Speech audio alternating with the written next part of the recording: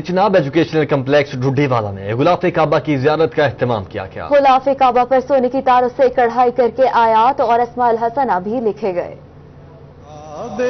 کے گھر جانے کی سعادت تو خوش نصیب مسلمانوں کے حصے میں آتی ہے۔ اگر کوئی مسلمان خانہ کعبہ نہ بھی جا سکے، تو اس کی خواہش ہوتی ہے کہ وہ غلاف کعبہ کو کم از کم ایک بار اپنی زندگی میں دیکھ لے۔ رمضان المبارک کے بابرکت موقع پر د جناب ایجوکیشنل کمپلیکس ٹوڈی والا فیصل آباد میں سربراہ ادارہ میاں ندیم احمد کی جانب سے غلاف کعبہ کی زیارت کا اہتمام کیا گیا۔ جی یہ رمضان المبارک میں غلاف کعبہ کی زیارت کا اہتمام کیا گیا ہے۔ یہ غلاف کعبہ جو ہے وہاں سے، اور اتنا بڑا ٹکڑا جو ہے، یہ ملنا ہمارے لیے بہت بڑی سعادت بھی ہے۔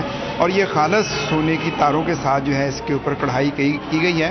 سونے کی تاروں اور اسماعیل حسنہ سے مزین غلاف کعبہ کو دیکھنے کے لیے شہریوں کی بڑی تعداد نے اسکول کا رخ کیا۔ شہریوں کا کہنا تھا کہ رمضان المبارک میں غلاف کعبہ کی زیارت نصیب ہونا ان کی خوش نصیبی ہے۔ یہاں پہ آ کے اس کو اس کو دیکھنا اور اپنی فیلنگز بیان کرنا وہ بہت مشکل ہے آنسو کو کنٹرول کرنا مشکل ہوتا ہے کہ اس کی زیارت دیکھنا نصیب ہوا۔ آج جی یہ جو زیارت کعبہ ہوئی ہے۔ اس سے ہمارے ایک تو دلوں کو منور ہوئے ہیں اور اس سے رمضان مبارک کے بابرکت موقع میں ہمیں یہ دیکھنے کی سعادت نصیب ہوئی ہے۔ غلاف کعبہ پر سونے کی تاروں سے کڑھائی کر کے آیات اور اسماعیل حسنہ بھی لکھی گئی تھی شہریوں نے غلاف کعبہ کے ساتھ کھڑے ہو کر دعائیں